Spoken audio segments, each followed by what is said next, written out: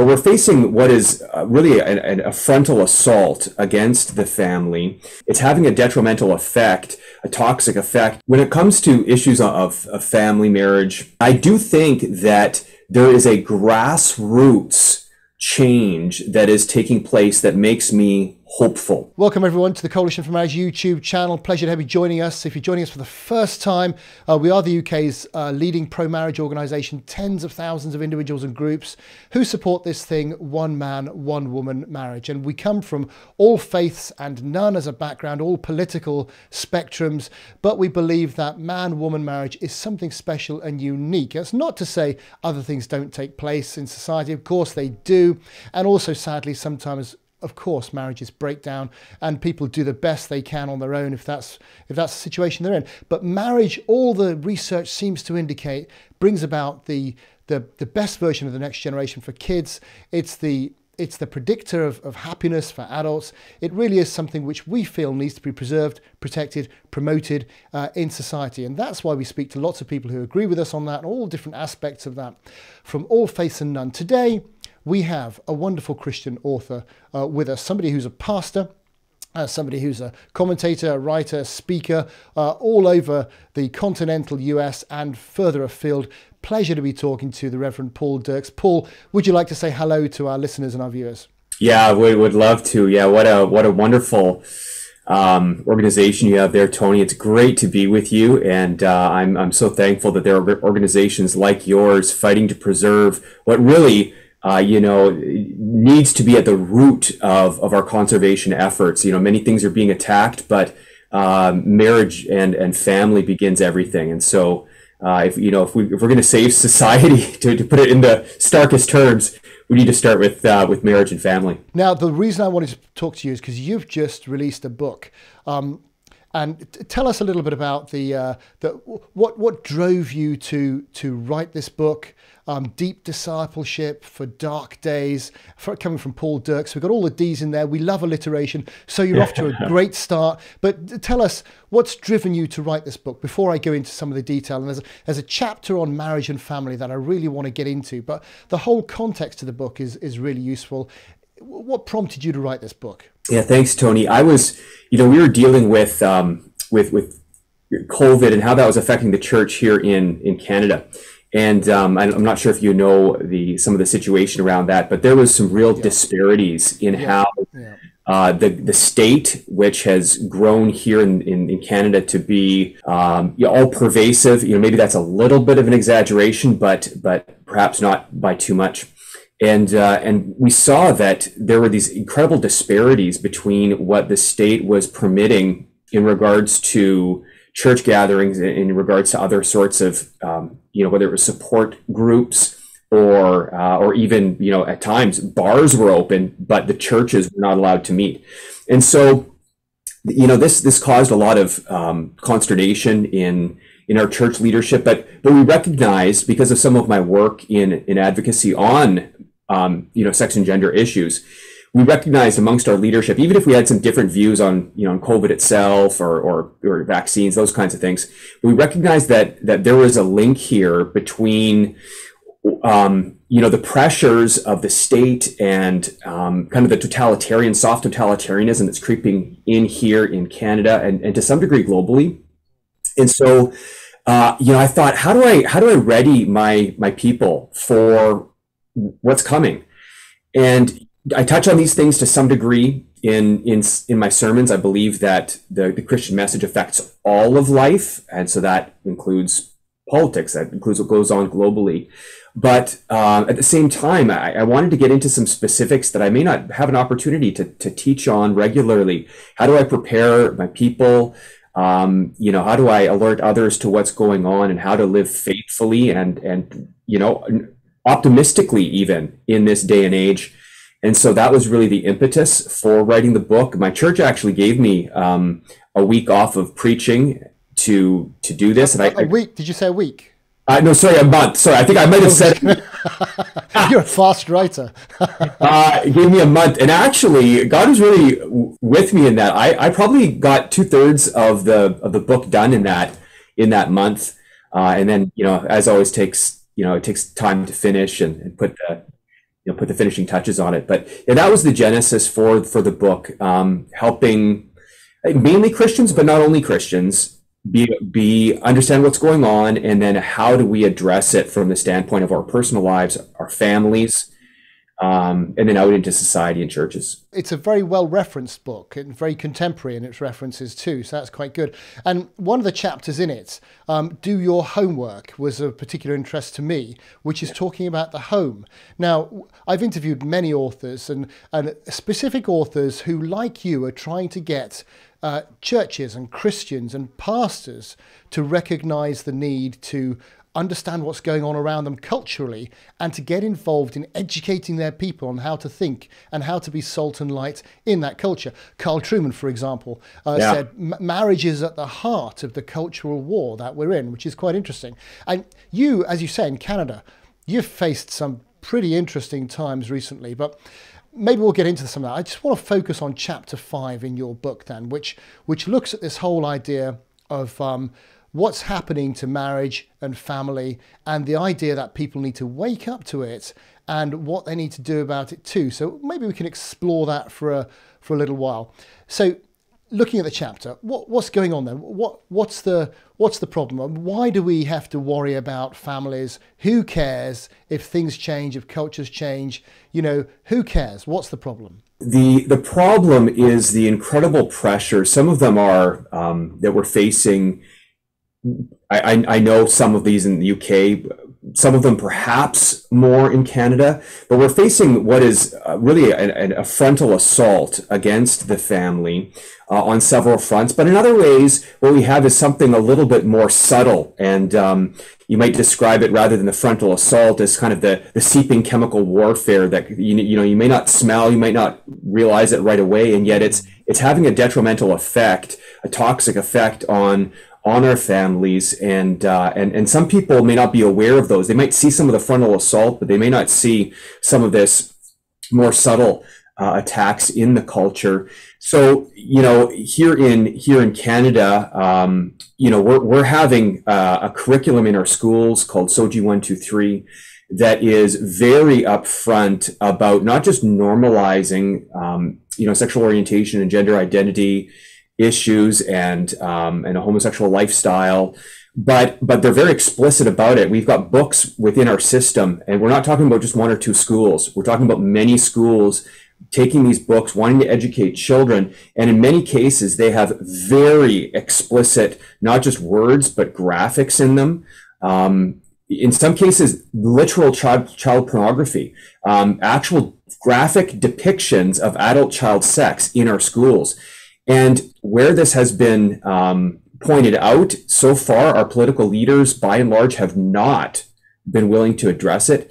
So you've got some of these frontal assault things which threaten uh, our children and grandchildren uh, who may be exposed to this. And of course, we could talk more about even you know the pervasiveness of pornography, you know, online and through technology.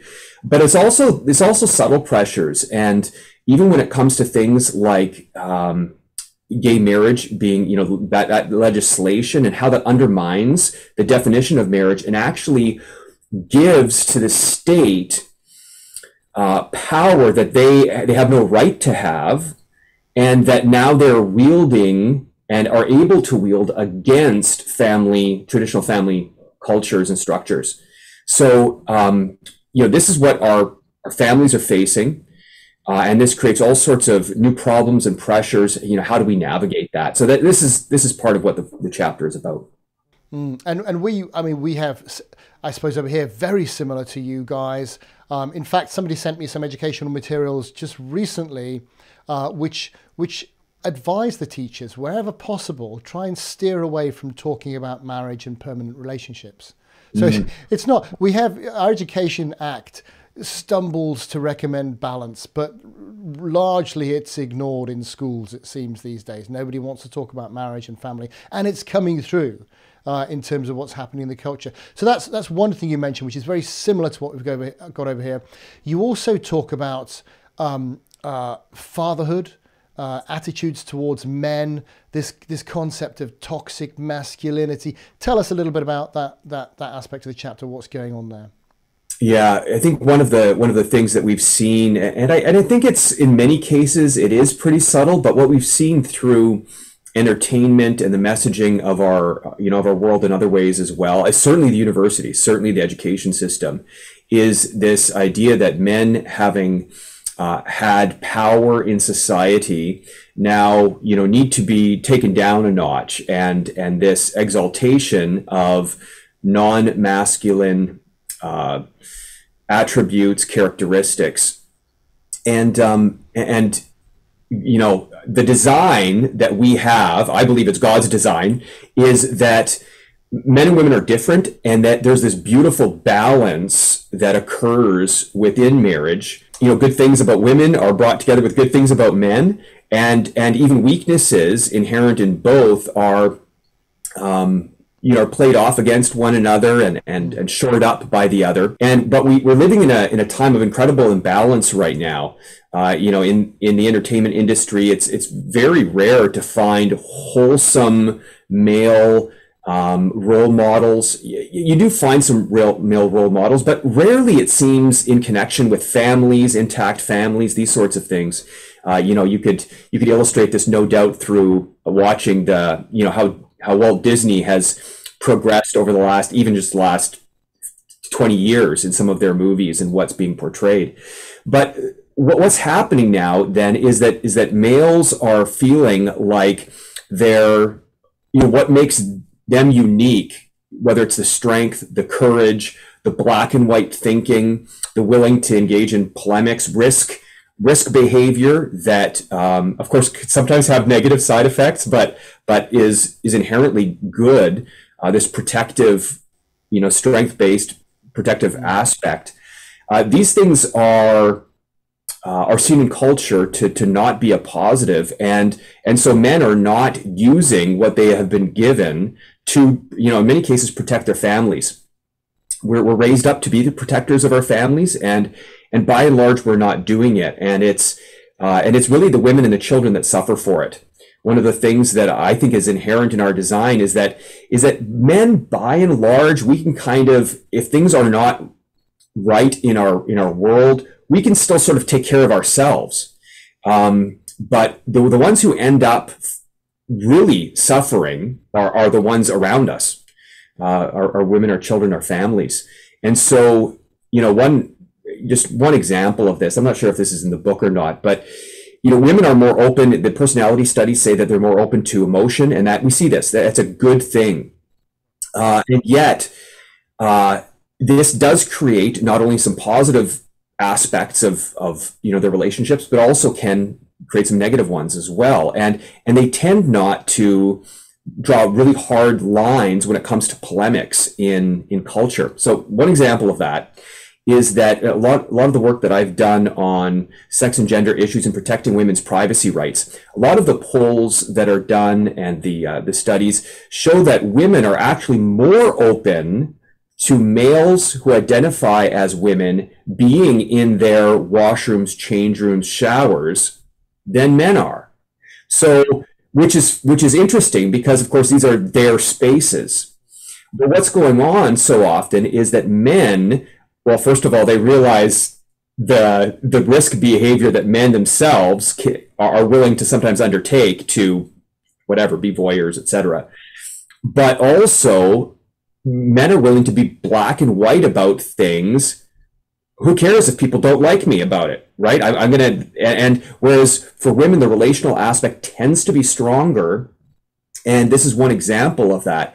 So I think a lot of the the slide in culture, whether it's around issues of marriage or other issues too, is in some part due to the fact that the the male kind of black and white polemical approach, willingness to stand up and say something, who cares what the result is, that kind of aspect is downplayed and families suffer, marriages suffer, children suffer, society suffers. What role do you think the the church has got to play in this. I mean, I, I, happen to be a Christian. We, we, as I said at the beginning, we have supporters from all faiths and none. I would think it's fair to say that the majority of our supporters do come from uh, some Christian tradition or other. Um, I'm an evangelical Christian myself. What would you say the church's role in all this is? I mean, what, why, why bother pastors with this stuff? Isn't it just to do with the government and society and other and people's personal choice? From a larger perspective, um, the, the church needs to realize that they have a prophetic role in the world. And I take that from a pretty conservative theological standpoint. So, uh, but but still, we, we have this role where we are to speak out uh, with God's truth on whatever's going on in society, um, and and this is something that we take part in every year together with a group of um, churches in Canada and in the United States uh, on the uh, the the anniversary of legislation of the anti-conversion therapy legislation that came through. That yeah. again, yeah, yeah. On the anniversary, these all these churches get together and we actually preach on biblical sexuality, um, and and and we just kind of think, well, at some point, some of us could get arrested for this because that's that's possible in regards to the legislation, but we're going to keep speaking out because um, the truth protects people. The truth brings justice. The truth brings blessing.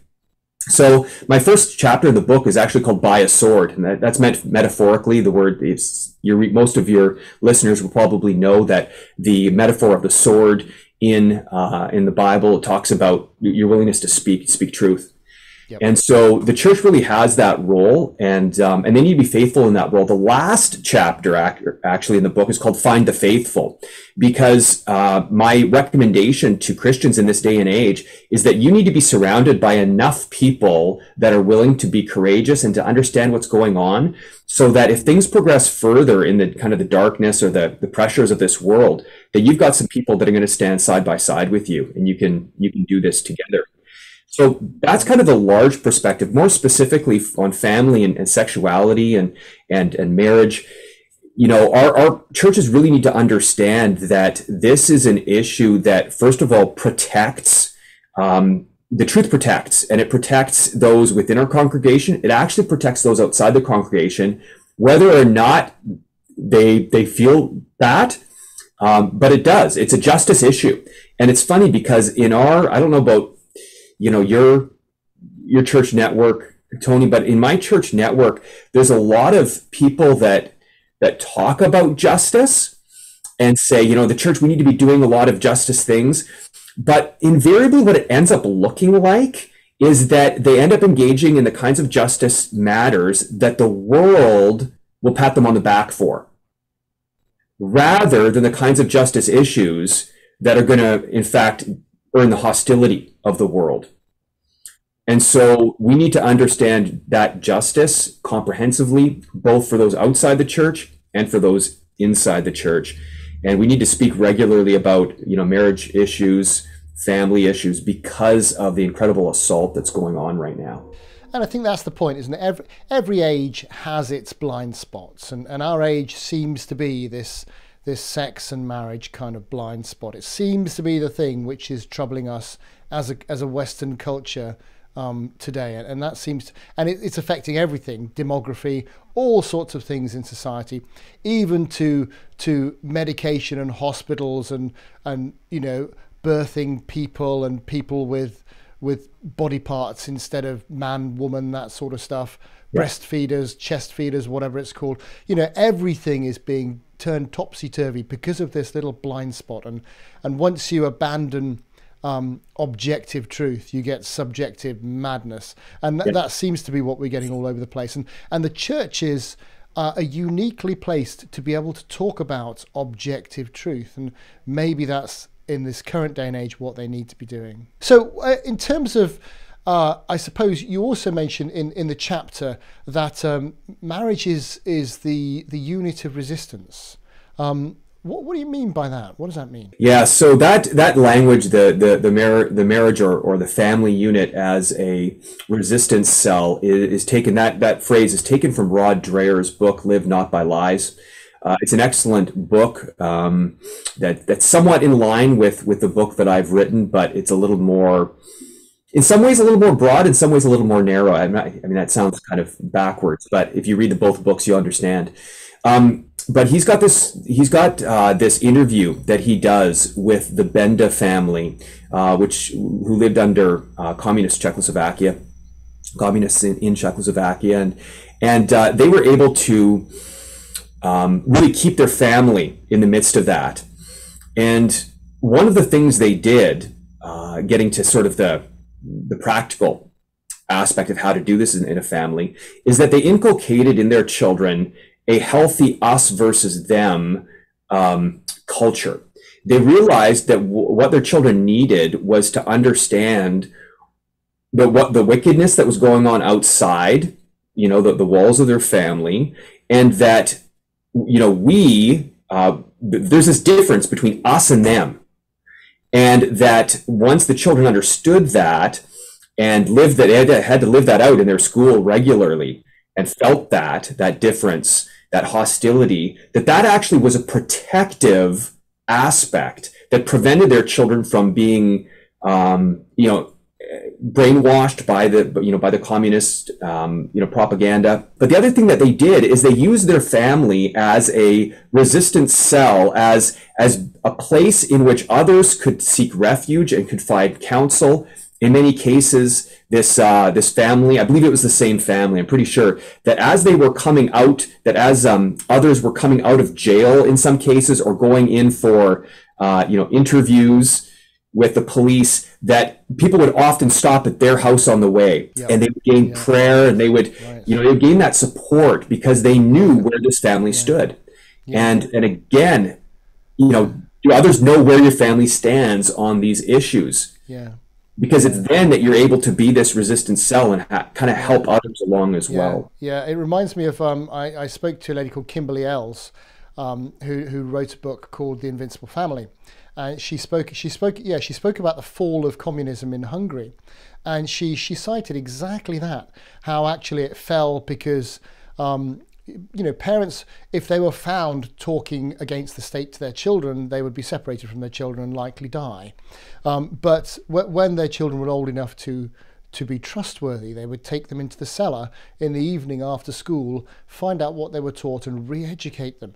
And and this happened throughout society, uh, up, up to the extent where all of a sudden once they grew up, there there was nobody left to be a communist because every all the kids had grown up realizing that's not what we want. And and it's funny because uh, our youngest is old enough now to come home and say things like, "I'm glad our family isn't like that," or in that kind of desperate situation. Uh, and I think again it, it touches on some of the practical advice, and let's move on to that which you give in the chapter of providing that that place of solace uh, and it's it's one reason why uh, all these different um, you, you, know from the Gay Liberation Manifesto to loads of other manifestos have spoken about destruction of the family because family is where you pass on. Uh, customs and habits and practice from one generation. It's where children learn what their values are. And if you want to disrupt that, you've got to disrupt disrupt families. So the antidote to that is to fight especially to make sure you know, that you and your wife, husband and wife, really are the, the, the solid units that are there as a bedrock to providing that stable home, you know, and that's absolutely 100% vital. It's not about the two of you, it's about the home you're providing. And, and that, I think you make that point in the book, um, among lots of other points. So give us, give us some more great advice. How, what, what can we say to families? How can we protect against the storm which is here and is likely to get worse? Yeah, so a few things come to mind. One is one is the role of routine and ritual in the home. Yep. And the regular rhythms of our lives can be so powerful in communicating to children uh, things like identity, um, true religion, what that you know what that looks like. Um, you know, one of the things that we need to understand is that all of the movements in our society, all the ideologies, they're really identity conferring uh, ideologies. And, and this is something that in a world, if you don't have a strong family identity, a family culture, these, these isms and ideologies can be very attractive to young people. And of course, this is, this is, you know, whether it's the LGBT movement or some other movement, they're, they're, they're bringing in children, uh, in many cases, trying to in, indoctrinate them. It's certainly happening in our schools here in, in Canada.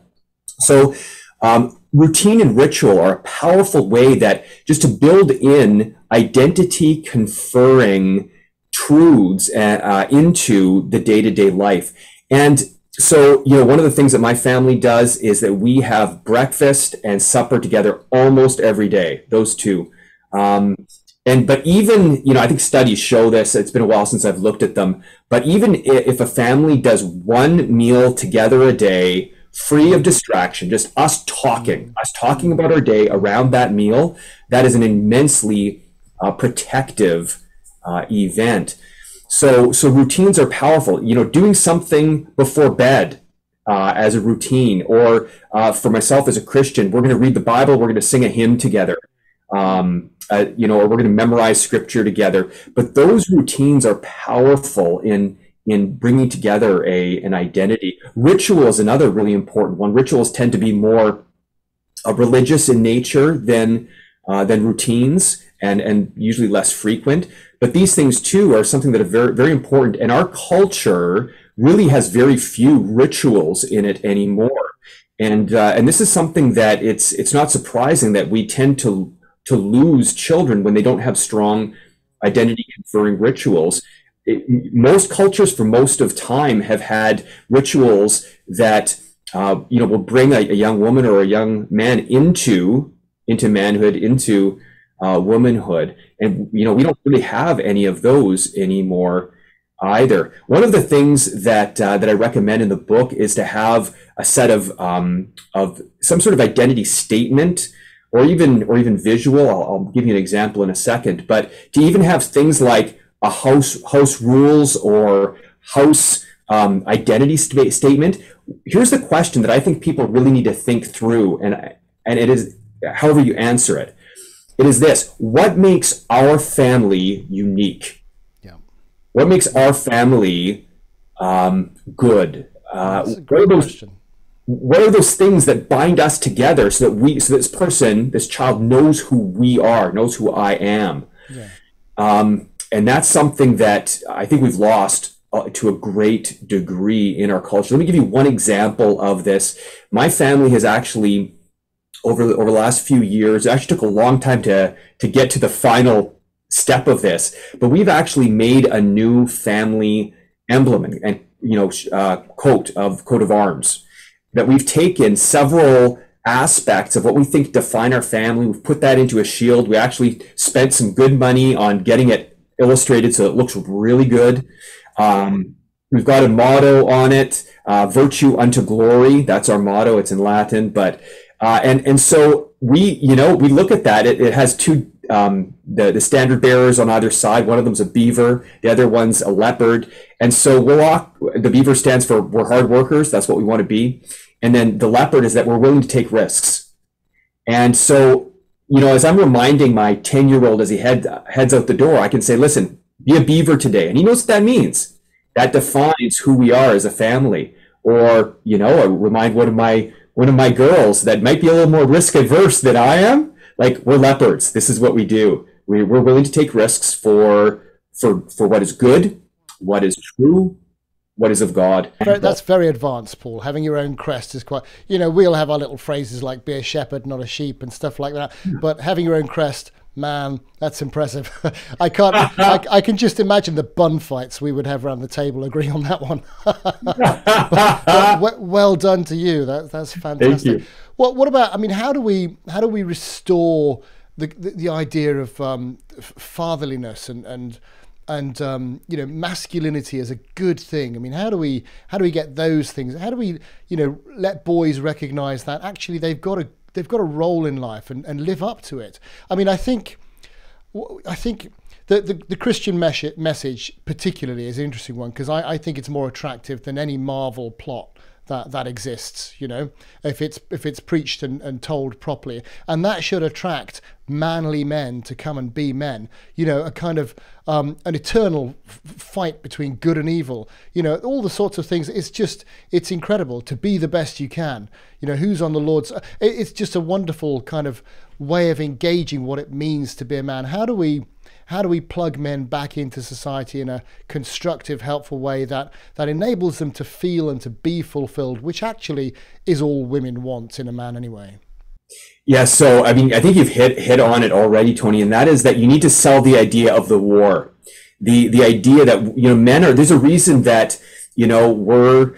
Um, you know that we we love a, good comic book. There's a reason why you know we'll love a good sports match. Um, you know why certain movies appeal to us. You know, a good war movie or or whatever.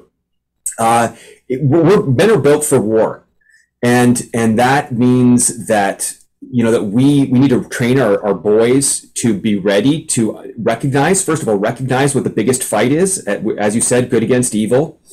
Um, and that the christian message as you know I mean, i'm just saying exactly what you just said but but it's it's really crucial that that churches recognize that that fathers recognize the appeal of this us versus the dragon kind of um, yeah, yeah, yeah. you know this picture and to have to have books that enforce that to have entertainment that enforces that to have preaching that enforces that.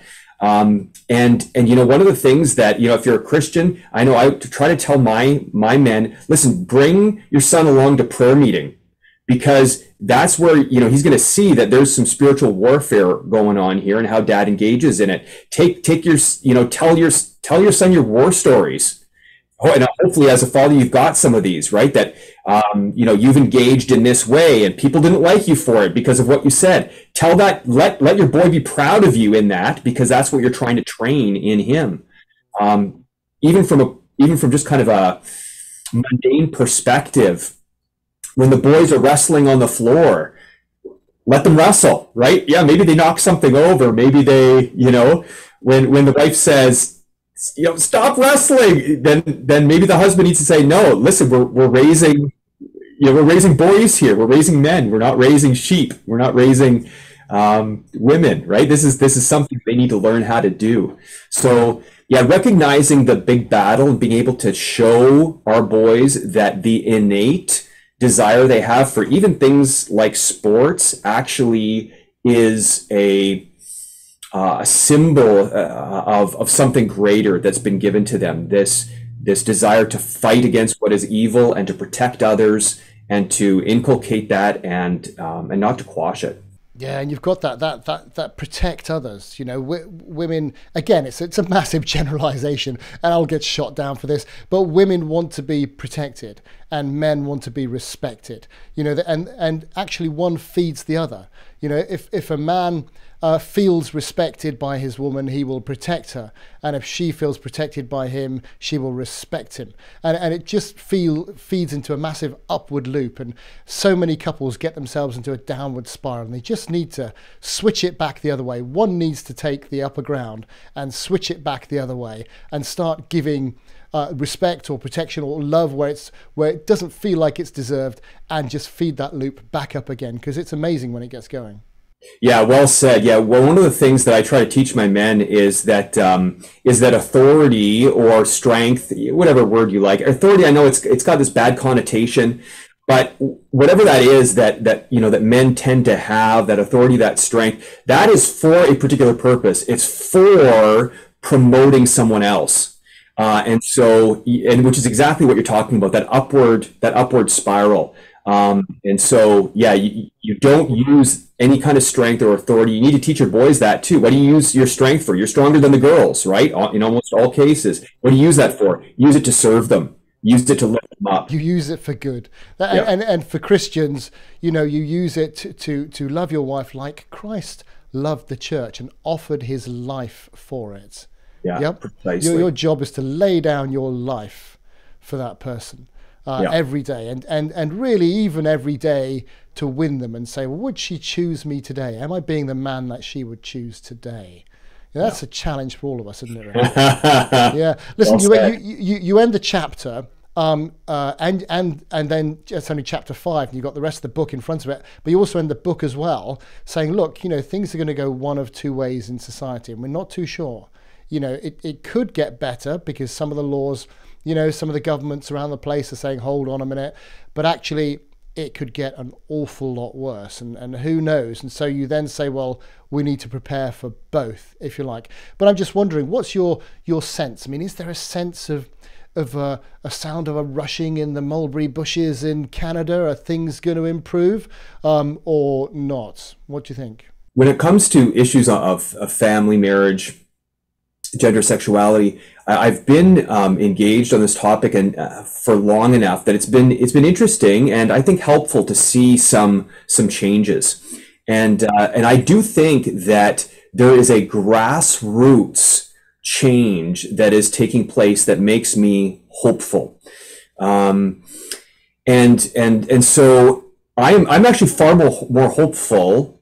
Um, not in the ultimate sense. I'm always I'm always optimistic in the in the largest sense uh, of you know God's going to work out His purposes. Uh, you know, the, you know the family's not going to die off. Um, but when it comes to sort of the the near term future, I'm far more hopeful than I was two years ago. Uh, and and some of that is helped actually by our neighbors to the south, who tend to be more courageous, although also sometimes a little more belligerent. but that's okay. Um, I, I, in general, I'm okay with people that are belligerent if they're speaking the truth. I, I, I think that personally, I think our Canadian culture tends towards cowardice. So if somebody's speaking truth, then then I'll you know even if they might not say it exactly the way I would, uh, I'll I'll be thankful for that. But I am encouraged. So a couple of things that are happening right now that encourage me. One is that in some ways, not always, sadly, but but in some ways, uh, the the major conservative party here in Canada has um, has started to turn a corner in realizing that uh, you know where they need to draw lines and where they need to fight back on some issues regarding the family. Um, so that's good, and they're. Well, they're I, I noticed some. Uh, is it Paul Poilievre? He's getting a bit of yeah, profile yeah, internationally now. Quite interesting for being a bit of a wit, apart from anything else. yeah, he really cut his teeth in Parliament, um, and uh, and so he's yeah he's he's actually cultivated uh, quite a wit over over time and an ability to deal with uh, with media, and which is a, a, good thing in especially in a conservative politician. Uh, the media are rarely on your side. Um, yeah, so so there's some good changes there. You know, sadly, this is the same conservative party that voted uh, without a single um, defector, without a single person contradicting. They voted en masse in favor of this horrific anti-conversion therapy bill, which um, which had all sorts of political shenanigans uh, in the background around it. So so there's there's still some major issues, but but there's a turn that's occurring. Uh, there are some good people in that party that are helping to turn that around. Uh, and again, our, our neighbors to the south have some of the states have made significant gains, uh, and that that that shifts the whole conversation. That Overton window. I'm not sure if you're familiar with that. Of sort of where public discourse is sort of allowed to happen. Um, it, it, shifted that, and uh, and so I, I, I'm I'm more optimistic than I was a couple of years ago. Th- things can actually change quite quickly yeah. when they start. Um, That's right. So it's looking for those green shoots and seeding those green shoots and never giving up. Yes. You know, never giving up. And it's not about numbers. We, those who are, you know, of a, of a Christian persuasion are Christians, they know biblically it's not about numbers, big numbers. Things can change radically very, very quickly if, uh, if that's the way they're meant to go, you know? Yes. Yeah, absolutely. Yeah. And, and so it's encouraging. I mean, right now, we have the Sikh community, uh, as well as many Muslims here in the lower mainland, actually activated in speaking out against what's going on in the schools. And that's new. I know that when I started working on these issues, I tried to reach out to Sikhs and Muslims, and none of them wanted to touch it. Um, and and now they're leading the charge, and actually now they're looking around and going, "Hey, where are all the Christians?" uh, so that's how much things have turned. Um, so that's encouraging. Well, listen, Paul, deep discipleship for dark days. Great read uh, really well researched, really well written. Um, I, I, as I said to you, I think I'm, I, um, I picked it up to read the introduction and I read the whole thing because I couldn't put it down. It doesn't often happen. So thank you very much. Great book. Thank you so much for your time today. And uh, let's get together and talk about it again soon. Paul Dirks, thank you. Thank you, Tony.